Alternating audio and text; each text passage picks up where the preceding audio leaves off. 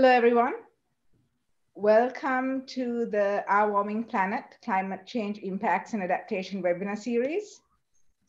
We typically have participants joining from across the world, so thank you for being here. Let's give everyone a couple of minutes to join and then we can get started. Thank you.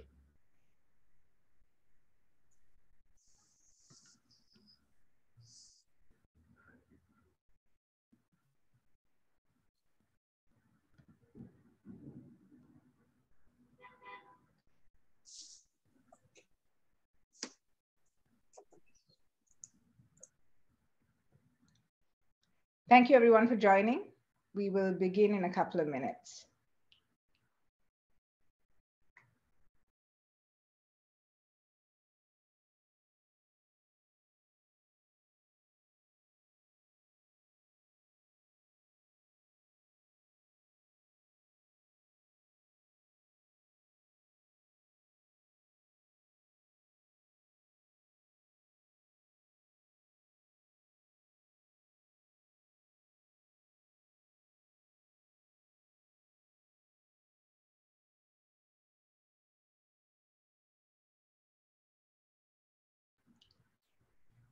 Thank you everyone for joining. We'll get started in just one minute. It's 10.01 local time here in New York. We'll give everyone another minute and we will begin.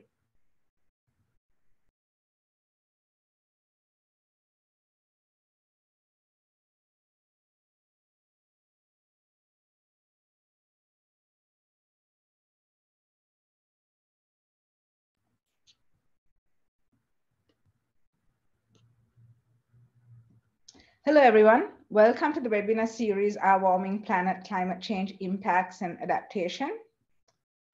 We typically have participants from across the world, so thank you for joining us today. Today we have two great lectures featuring Robert Nicholls and Joseph Alcamo on two critically important topics. And let's uh, begin with an introduction to the book that this webinar is based off of, and then uh, we can get started. Great, thank you. Um, so let me introduce the editors of uh, the book, Our Warming Planet, Climate Change Impacts and Adaptation. This book is in honor of Martin Parry, who's um, a pioneer in the field of climate change impacts and played a key role in the 2007 IPCC reports. Martin is a visiting professor at the Center for Environmental Policy at Imperial College London. He was co-chair of the IPCC Working Group 2 in 2007 that was on impacts, adaptation, and vulnerability, and has been a convening lead author on three IPCC assessments. He has been a professor of geography at the University of Oxford, University College London, East Anglia and Birmingham in the UK.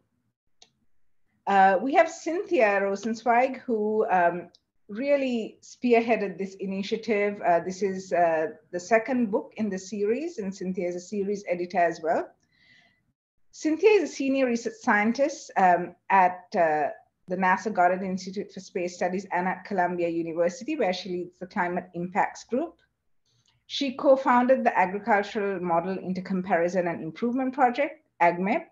She was a coordinating lead author for several IPCC assessments, and Cynthia was named one of Nature's 10 people who mattered in 2012 and has been a recipient of the Guggenheim Fellowship. And then you have me as well. So we want to, um, you've heard a little bit about the editors and you'll hear about our speakers very shortly but we also want to get to know the audience. So we've prepared um, a poll that we'll run just to get a sense of where all of you are from. Uh, on to the next uh, slide, Jen, thank you. Uh, and before we do that, um, just to give you a sense of the book and the webinar series. Uh, so this is, um, these are the topics and authors of the book. We uh, begin with an introduction to uh, climate science, then we have a section on methods and approaches, uh, impacts on sectors. So that's where we are. Um, then we have effects on different regions and countries and policy and practice. Um, on to the next slide, please. So today's agenda um, is the introduction and getting to know the audience, which we'll do shortly. Then we have Robert Nicholls talking about the consequences of sea level rise for coastal regions. And then we have Joseph Alcamo, who will speak to us about climate change and the future of water. After each of the lectures, we will have a live Q&A session that will be moderated by Jen Evans. And then we'll move on to a discussion on where next for impacts and adaptation. Uh, I'll be moderating that. And uh, typically we have um, other authors from the series joining us. So uh, if they're on, we will make them panelists and they can join this discussion as well. Uh, the audience will have an opportunity to ask uh, questions using the Q&A box as well. Then we have Jen Evans uh, sharing some NASA educational resources that can um, supplement this, um, what you see today. And then we'll uh, do a brief wrap up and we'll also tell you where you can find the recordings of past uh, lectures as well. And to the next slide. Great. And we'll move on to the next slide as well. And then I'll begin the poll. So this is the book and uh, you can get 30% off by using uh, the discount code you see above. So um, when we, uh, sometimes we are lucky and we have uh, participants uh, joining from all geographical regions, but I know that the time is not uh, feasible. We've tried to fix it in the morning New York time, which gives us sort of you know, time that works for most regions, unfortunately not all. So let's get started by launching the poll. And please vote and tell us um, where you're from. And um, then I can also share. So I'll have this on for about 30 seconds. Uh, we'd like as many of you to participate as possible. And then I'll share the results. And um, so far I'm seeing most regions um, give it a few more seconds and we'll see where everyone's from.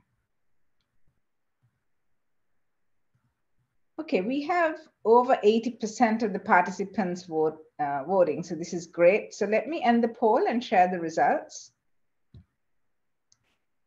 So there you go. So we have, um, you know, some participation from Africa and Asia. I know the time doesn't work really too well for those regions Europe, Latin America, and the Caribbean, North America. I think uh, Oceania is tough because it's, it's uh, probably past midnight there. Great. Next, we want to uh, get a sense of um, what sector you work in. So uh, please um, fill this out and we'll give you all about 30 seconds.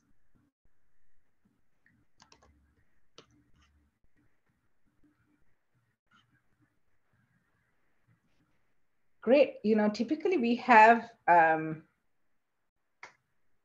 people joining from all sectors, and um, it's amazing to see uh, the breadth of sectors that all of you are from. So now we have over 80% of the audience that have participated in this. So I'm going to end the poll and um, share the results. So this is fantastic. As you can see, we have um, all sectors um, represented. Um, we also have uh, a number of people who don't fall into any of these categories. So, you know, when you do your introductions in the chat function in a little bit, we'd love to hear, you know, which other sectors you're from. Okay, and we have one final uh, poll question, and this is to get a sense of your involvement um, in climate change. So please go ahead um, and we can get a better sense of your involvement. And once again, we really see a range of uh, levels of involvement. And uh, that's really the idea is to have this available to as many people working in as many sectors as possible. And hopefully it'll be a useful resource. So once again, we have um, just going to keep it up for a few more seconds. Uh, we have about 80% of the audience that have participated in this as well. So let me end the poll and share the results.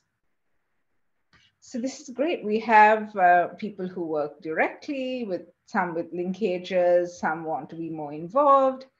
uh, want to educate people about climate change or learn more. So this is really fantastic. Uh, so welcome everyone. We would also like to, um, while this is going on at any point, uh, you know, feel free to begin um, introducing yourselves in the chat function. We'd, you know, share as um, much as little information as you like. So, you know, you could include your name, uh, country, institution, role, your email if you'd like to connect with other people. And we'd also like to know how you think this book might help you. So I'm just gonna use the chat function and put that over here so that you can, uh, you know, start introducing yourselves. And uh, we can now get started um, on the lectures. So Jen, to the next slide, please. Fantastic, thank you. I would love to uh, introduce you all to our first speaker, Robert J. Nicholls. Robert Nicholls is a professor of climate adaptation at the University of East Anglia. He's also director of the Tyndall Center for Climate Change Research. He's co-chair of the World Climate Research Program Grand Challenge on Regional Sea Level Change and its Impacts. Robert was a coordinating lead author of IPCC Working Group 2, Fourth Assessment Report. His research focuses on integrated assessment and changing coastal systems, especially the possible effects of sea level rise and climate change. Thank you very much for joining us today, Robert. Um, and over to you to begin sharing your screen. Thank you. Robert, you're on mute, so I will um,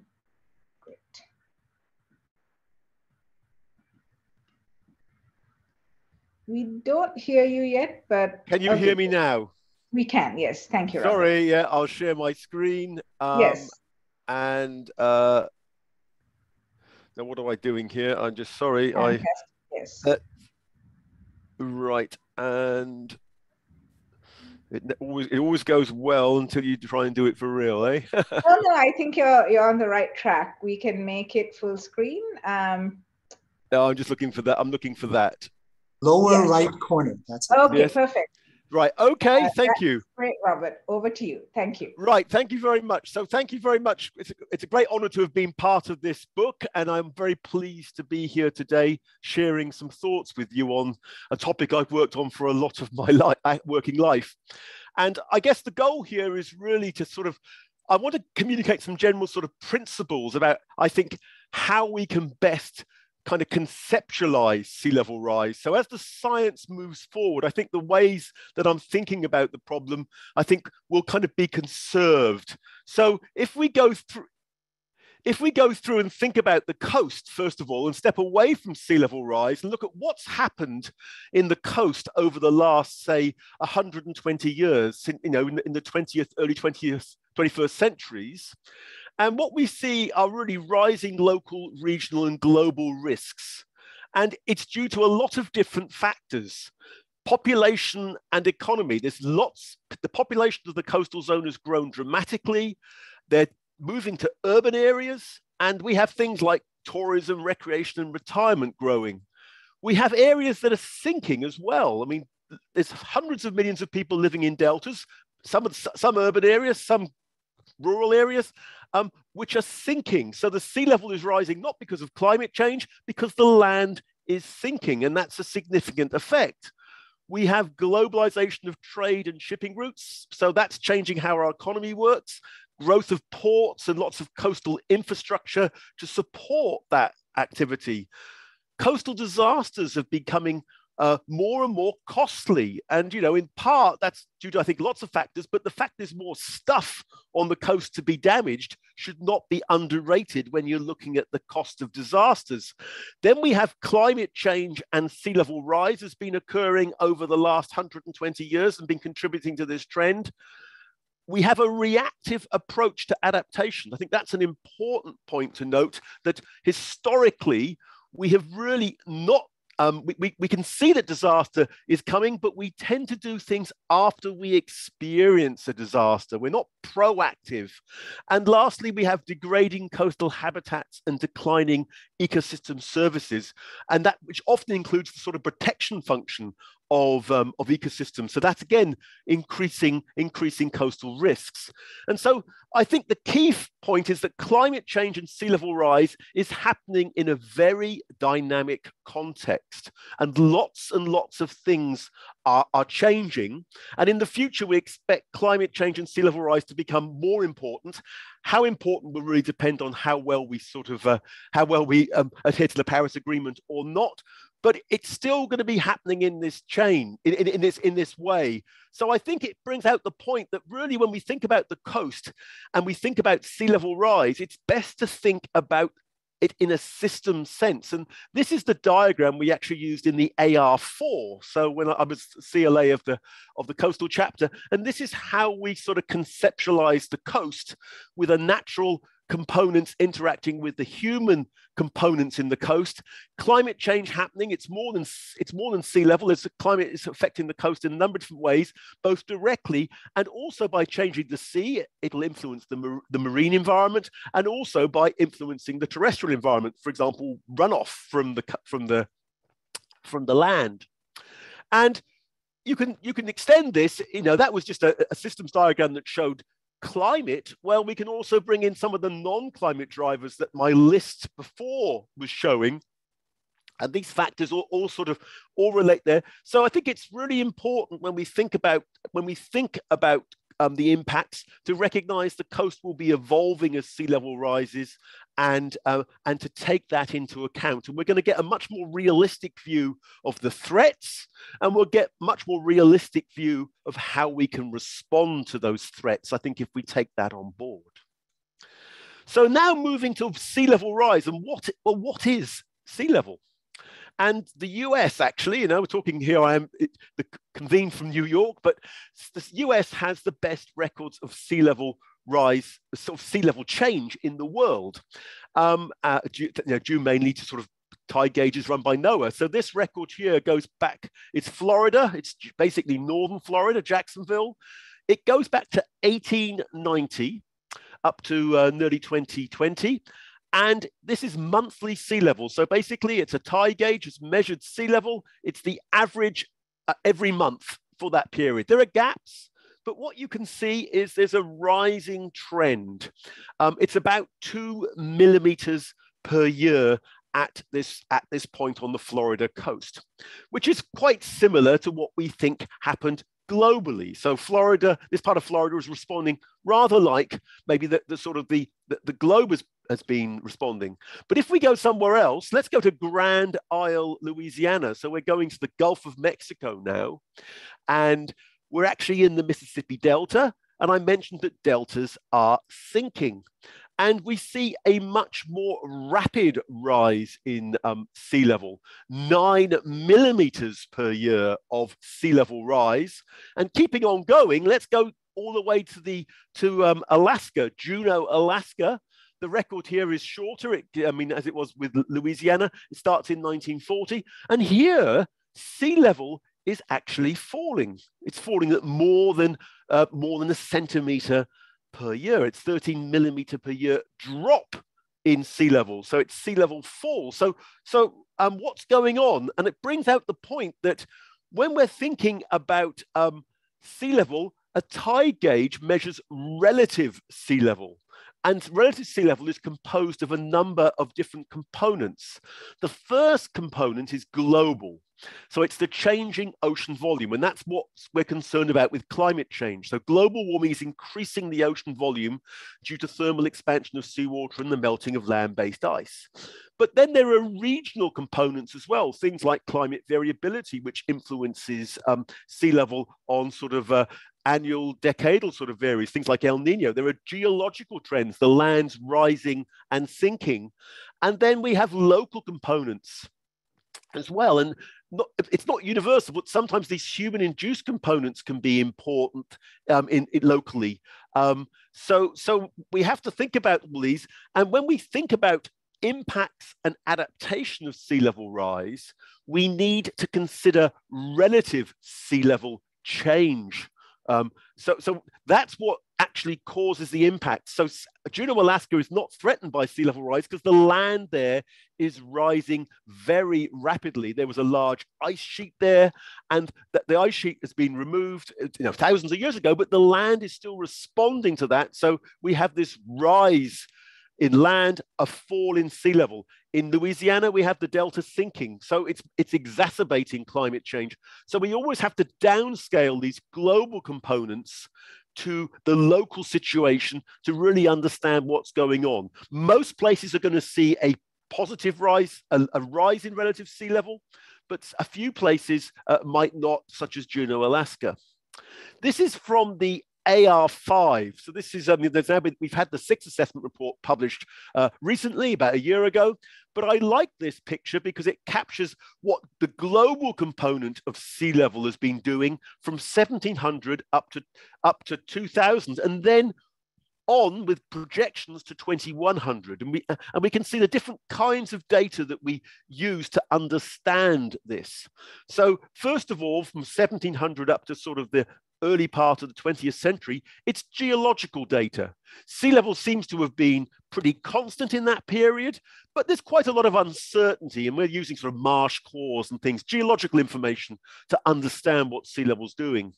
Then we move into the 20th century. We have the green and orange lines, appearing, they are based on tide gauges. So a different sort of data, taking the, some of the data I showed you a moment ago and trying to come up with a global interpretation of that data. And you can see that sea level is, um, is now rising. Global sea level is rising in the 20th century. So it's behaving differently to the way it behaved in the previous centuries.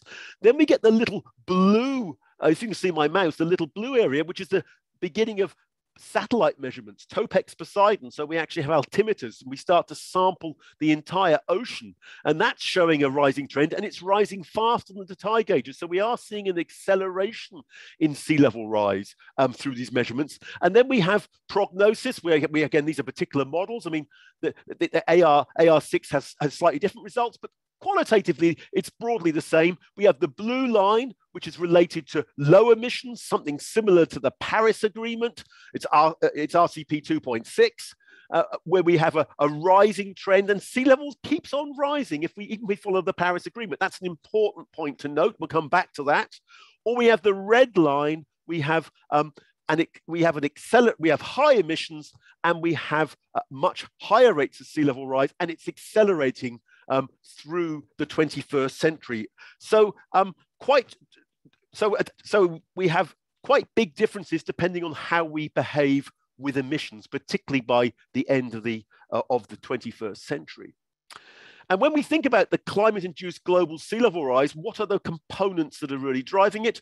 Well, one, as the, as the world warms, we get thermal expansion of seawater. The same mass occupies a larger volume. And then we get melting of land based ice. The small glaciers, like in the Rockies and Alaska, the Alps, the Himalayas, they're retreating pretty much um, in most places. But then we have the sort of sleeping giants, the Greenland ice sheet, and then Antarctica, particularly the West Antarctic ice sheet. So Greenland has about seven meters of sea level equivalent in it. West Antarctica has about sort of three, four, five meters of sea level equivalent in it. And Antarctica as a whole is about 70 meters of um, sea level equivalent. So, um, so, um, but West Antarctica is considered to be the part of the, of the Antarctica that's most likely um, to become destabilized um, first. And looking on at Antarctica, you know, we have we also get um, papers like this. This is, this is Conto and Pollard, published in 2016 in Nature. I think it was the most cited paper that year published um, in Nature talking about Antarctica and what it might contribute to sea level. And here is the quote that really worried people about, you know, we could get more than a meter of sea level rise from Antarctica by 2100 with a high end um, global warming and 15 meters. So that means actually it's more than the West Antarctic ice sheet. It's actually some of East Antarctica being lost if emissions continue unabated. So there, there is um, there is risks of very large changes. And I think it brings back to this IPCC figure that I've added this blue dashed line with question marks that even if we have the sort of the mean uh, and, and, and, the sort of and, and, what we expect around it, the sort of 66 percentile, what we ex- sort of our best estimate of what will happen. That's changed in AR6. Um, we still have this deep uncertainty, and there are low likelihood, high, um, high, uh, large rise changes possible.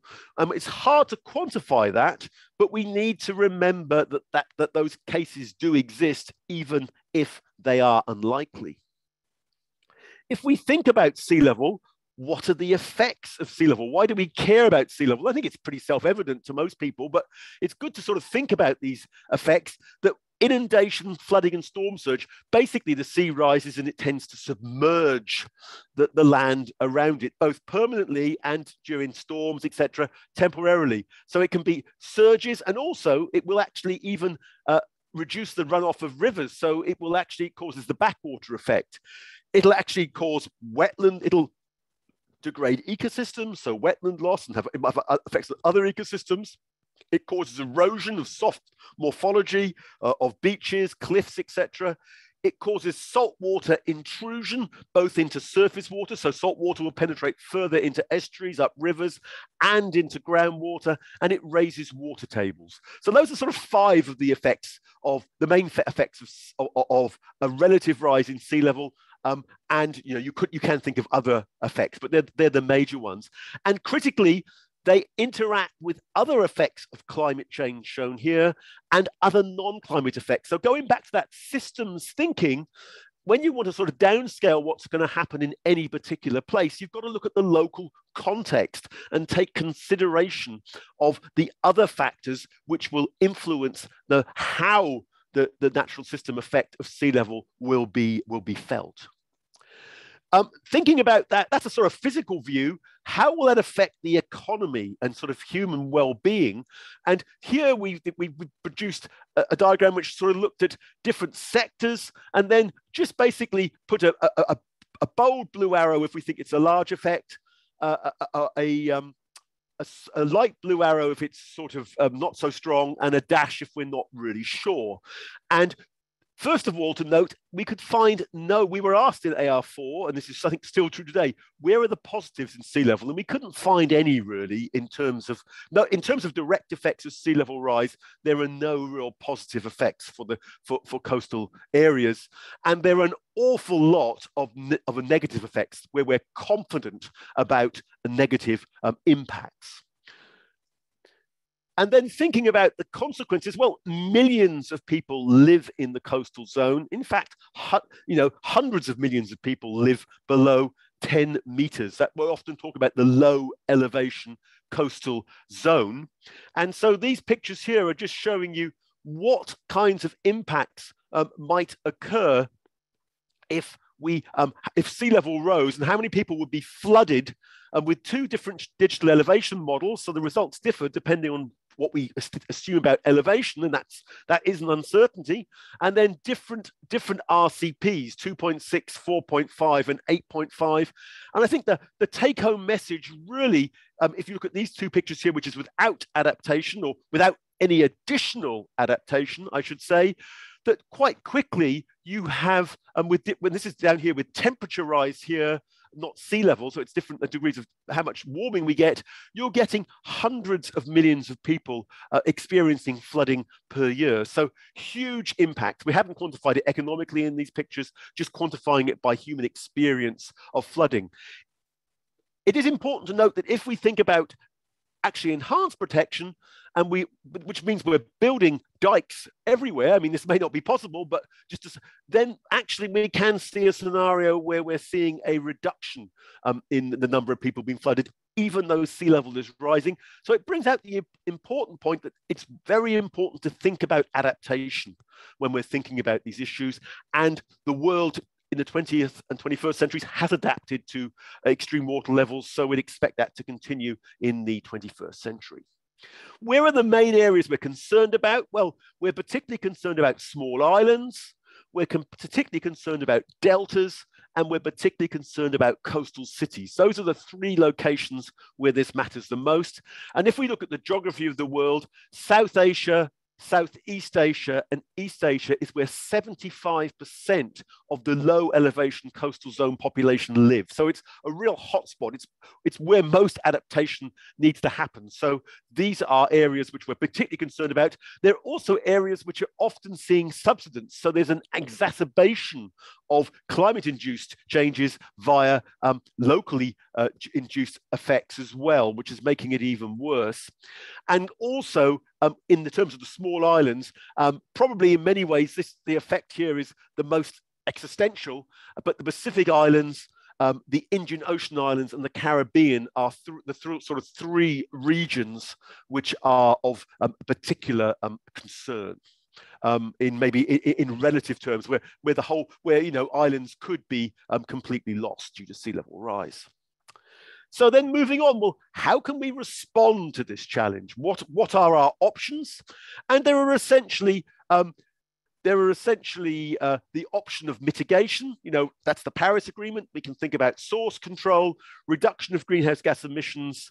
And also, I mean, I should note, I think we should also be reducing these human induced substance as well. That's another form of mitigation. It's not what the Paris Agreement covers, but um, in the context of sea level, it certainly would be a wise thing to do if you're in an area where the land is sinking. Or we can think about adaptation, behavioral changes to manage the risk.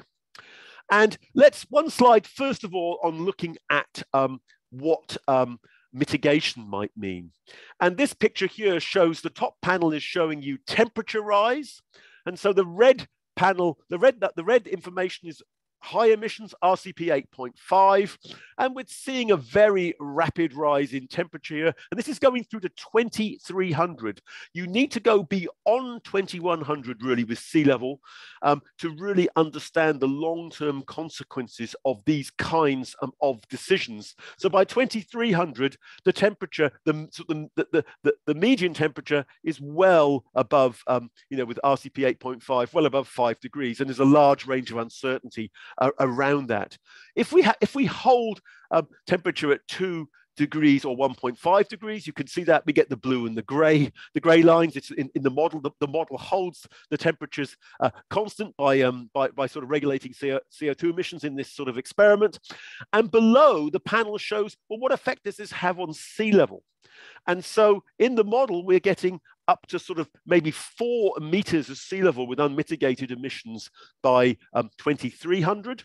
By 2100, it's more like um, a little bit less than one meter, but it just keeps on rising. And we need to change the scale to be able to show it.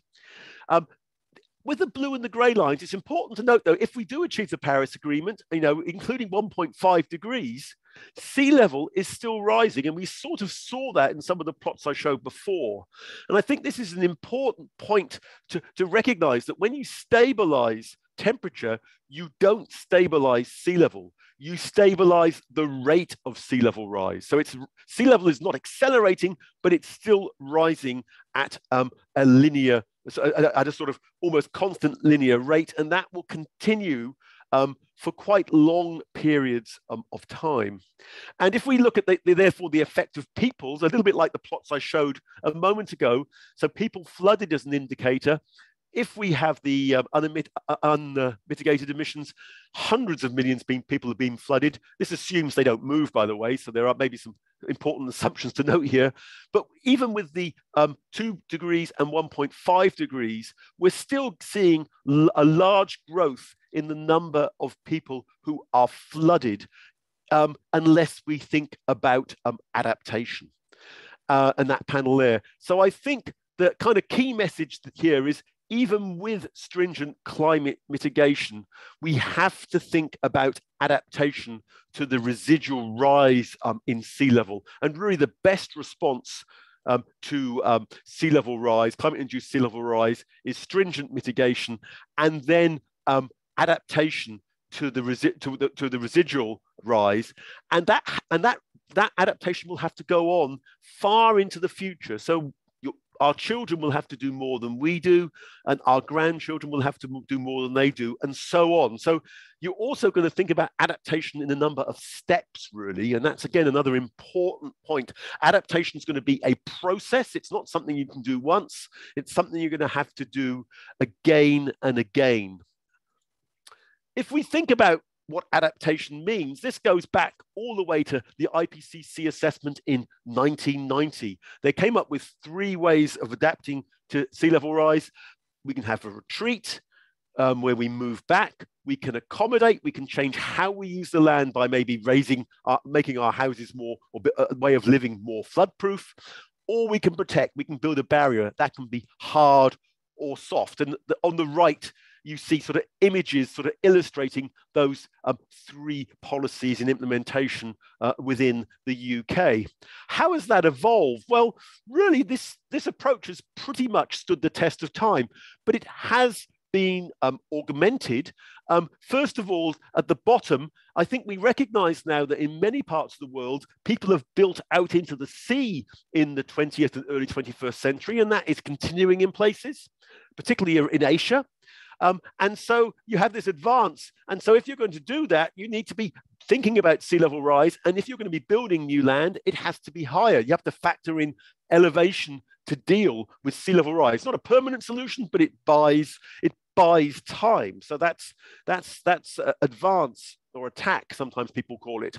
Um, we also have information measures so we have much, much, we have ever improving models that allow us to really um, see major events coming and be much more prepared. So we have, so we are able to really be much better.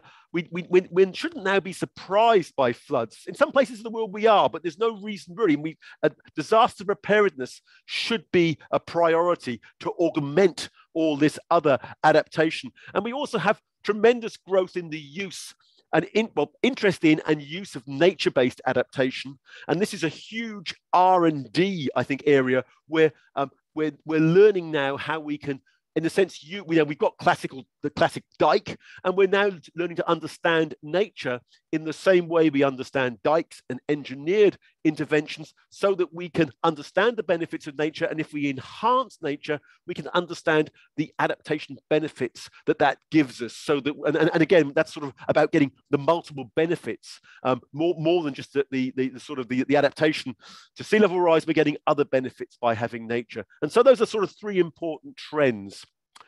So, um, well, and, and, I think again an important point to, to, to note um, that I was going to say about those, and remembering that all those measures, I think we'll be talking about using them basically along some kind of adaptation pathway. We won't be we won't be just doing a one-off.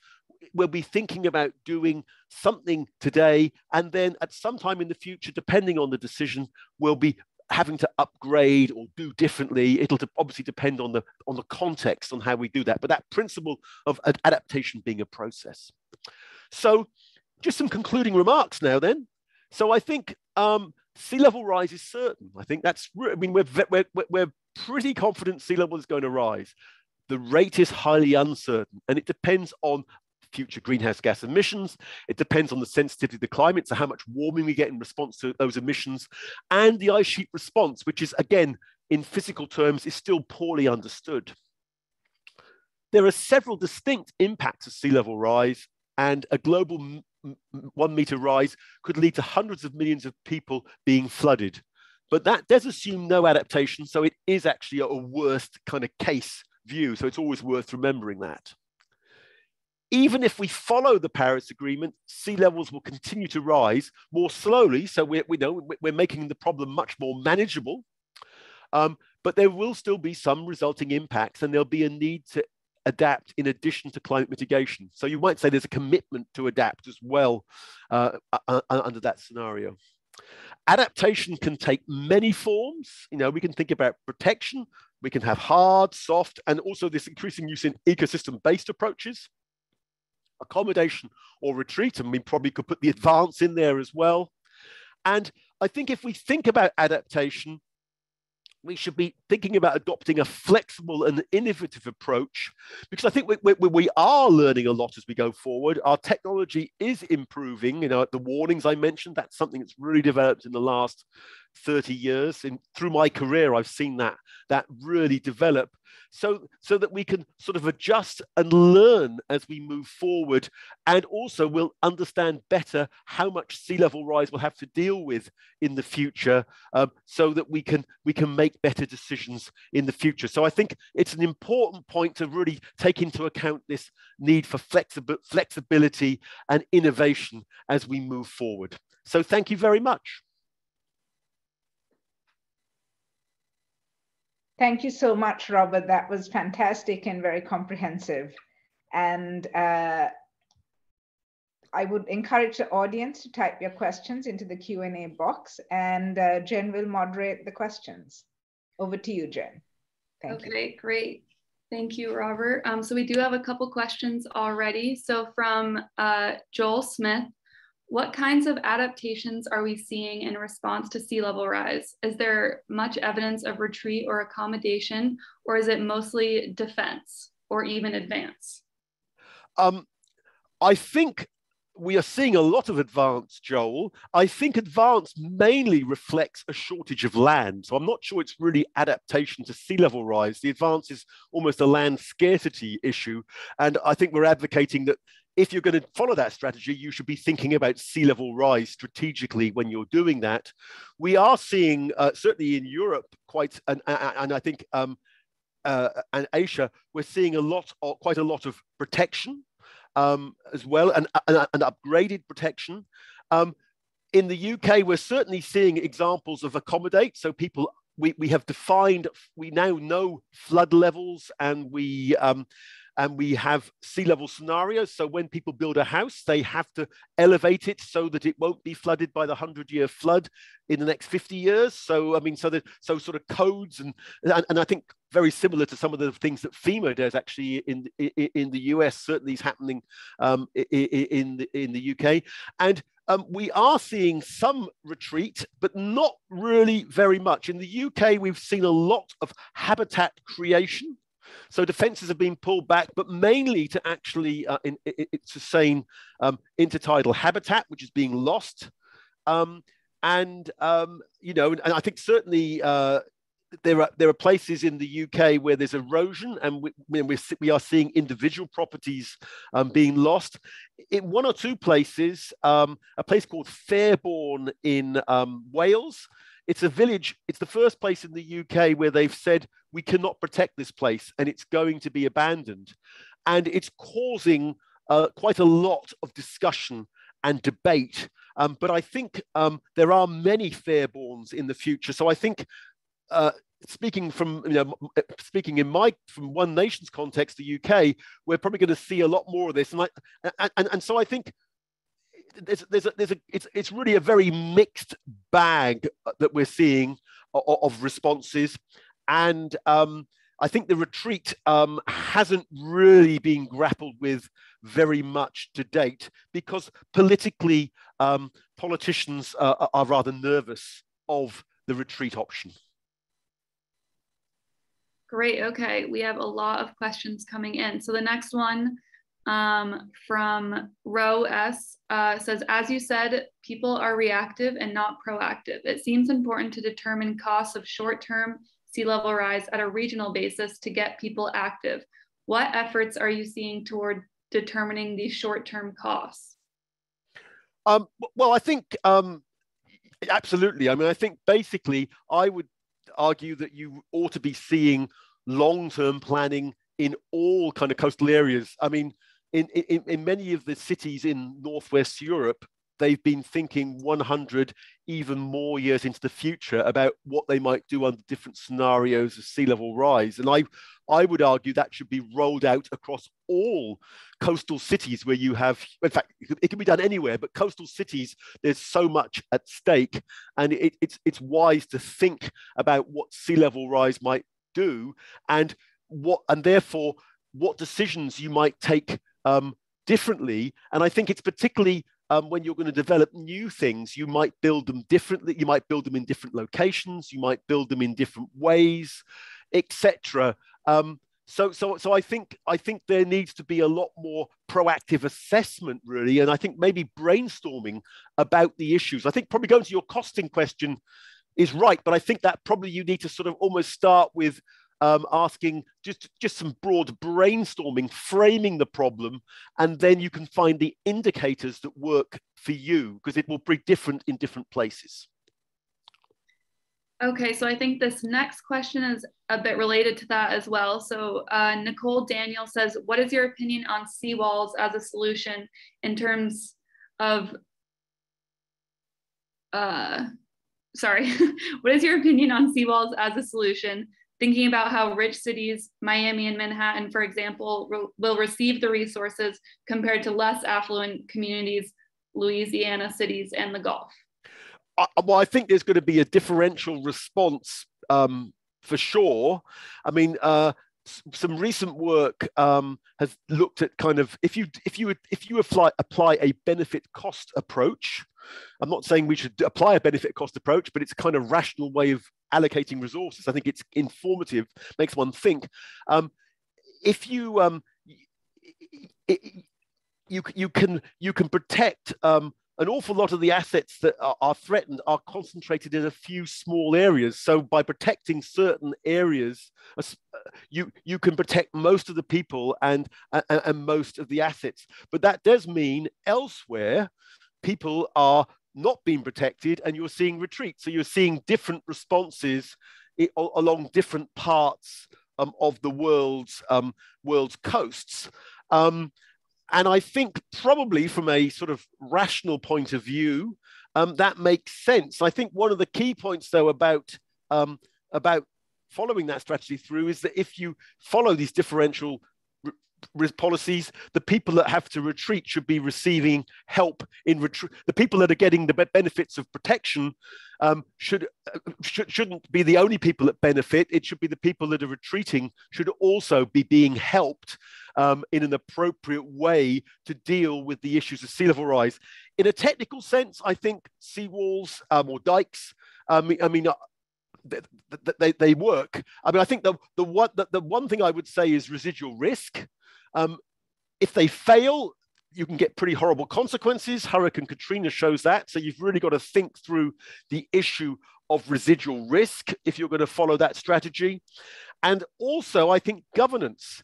Seawalls are forever, and you've you've got to maintain them, and you and that costs money. And I think people, governments are pretty good at building things uh, and uh, and cutting a ribbon on a new high wall, but maintaining it isn't quite so um, so so so sexy, should we say? So uh, it doesn't get you so many votes, um, and uh, it gets neglected. So I think the governance and maintenance, and in many ways, you could say the problems in New Orleans were a failure in part of of of of maintenance. Um, you know, Katrina Katrina uh, teased out that, that, that, that, the dikes had sort of been forgotten about and just taken for granted. Um, and uh, so those are issues that if you're going to follow those strategies, those are two things you have to think very hard about and might be a reason you might take a different strategy if you feel you can't deliver in those areas. Great. Okay. The next question is uh, Do you know if property insurance companies are explicitly setting premiums or even willingness to write a policy based on predictions of sea level rise, perhaps in the next 30 year period? And that's from Bob Schloss. Um, insurance companies are certainly um, at the forefront of thinking about, um, about uh, risk, should we say. I mean, I think their time scale is pretty short typically because they're often thinking about um, about um, premiums in this year and you know and then how much reinsurance they need and their time but i think that they there is thought about where this is going i mean back to the I made the point about cities should be being proactive and thinking about the future. Insurance companies are asking questions what's the world going to be like in 10 years, 20 years, 30 years? Is, is the way we operate now going to be fit for purpose um, in, in, the, in, in, that world, or could we go bankrupt? Um, and so there's a lot of thought going on into the issues. I mean, I think there is the, the, the point about, um, there is the point about um, uh, uh, um, repeat loss and maybe will, will, will some places become uninsurable if you if you live in a particularly vulnerable location where you might get repeat flooding that insurance will not be available to those to those properties. So there's an issue there's an issue there to be thought about.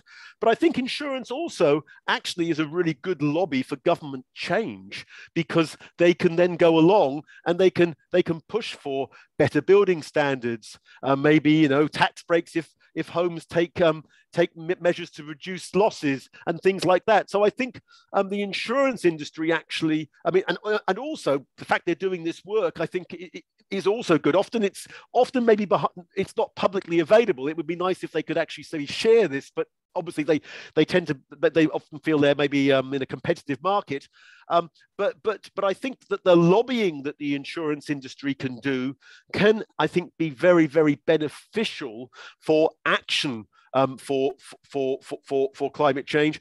Um, so, so, so I think there are benefits to what's going on there. Okay, thank you everyone for these questions and for the responses. I think they're bringing up some really great topics. So our next one says, what from Robert Chen, what improvements in data on coastal exposure and vulnerability of people, infrastructure, livelihoods, etc., are most needed? Um, I would say probably what well we could do with better data in all areas, really. I mean, you know, there was a paper published, Earth's Future, which I'm a co author on, looking at uncertainties in broad scale coastal flood assessments. And it brings out the point that there's lots of uncertainties in um, these assessments, and it's not all the it's not all down to how much sea level rises. It's it, it's other components. A good did a digital elevation model of the caliber of LIDAR for the world's coast would really make a huge difference because we still have quite large uncertainties about, um, about about coastal um, elevation. Lots of people are working on it, and, and this is being improved. Um, and you know, and actually, there's an, there's an there's an there's an initiative right now at, by Deltares, by the European Union, to produce yet another improvement um, on, on on some of the satellite um, platforms. But elevation, really, I think. Um, uh, would be a huge improvement. I think we we actually probably things like where people are and where assets are, we probably know better than the elevation of those people and the elevation um, of of those assets. Uh, and then I think actually um, uh, our some of our, our, our sort of modeling of these of these issues um, could also be improved. Although I think that can be that. It, uh, sometimes you can sort of search false precision there. I think, um, it, it, and also obviously, ultimately, the sea level rise scenarios are important. I said that's not the only thing that matters, but I think better information on the Greenland and it's really particularly it's the ice sheets. Um, what will Greenland, what will Antarctica do, and when? Timing is everything, really, because um, the, um, the, the, DeConto and Pollard paper in 2016. Um, now, this Konto's led a more recent paper published in 2021, which is cited in AR6, and that somewhat delays some of the um, the, the, consequences of, um, of, of deglaciation in Antarctica, and um, which I didn't mention, and that but that timing means so that's that you're pushing that into the 22nd century, and I think the timing of these things does does matter, um, and, and also the rate at which it will happen matters even more. Okay, I think we might have time for one more. I know there was a question in the chat that I might not have gotten to. Um, let me see here. Okay, so it says, what is your opinion about the contribution of sediment entering oceans to the rise of sea level? How is it compared to climate change impacts such as melt of glacier slash ice caps? I think it's negligible. And um, the amount of sediment entering the ocean is also diminishing because we're trapping more and more sediment in dams. So that effect has also been reduced by human agencies through the 20th, early 21st century, and we're building more dams. So it, the trend, the trend for, I mean, it raises a question. I've, I've been involved in studies about the reduction in sediment supply, and that in fact enhance that enhances um, erosion. Uh, as so it, it, makes sea, it makes the effects of sea level rise worse. Um, so I think the more sediment we had at the coast, um, the better actually. So um, so, uh, so, so, so, I mean, you know, I, I'm on several papers that advocate how we need to be trying to learn how to work with sediment. You, in the broad sense of ecosystem-based or nature-based um, approaches, working with sediment is one of the things that we should be encouraging. Okay, so one more, uh, and unfortunately I can't see the name, um, but it says, our students want to know that if we are taught that the amount of water and precipitation is fixed, why are sea levels rising? Well, the, the sea levels are rising because the, the, the ocean is the ocean is warming and that means the same mass occupies a larger volume. So basically, the density of the sea is going down, and so that water is spilling. If you like, if you were thinking about a um, a, a, a, surface the, the, the, that water is expanding so it's moving on it's moving on to the bits that are dry and then the second process is that uh, the second process is that ice um, water water that's stored in ice form on land is melting in small glaciers in green in the Greenland ice sheet and Antarctica. Um, and all three of them now are acting as sources of water. That's that's something that's happened. Uh, it used to be small glaciers through the 20th century. Greenland and Antarctica have started to become significant sources in the last 20 or 30 years. And so that, that ice is being transferred to the ocean. So, so we're moving the location. There's fixed water, yes, but its its its phase it's becoming some of it's becoming liquid and its location it's in the ocean is changing.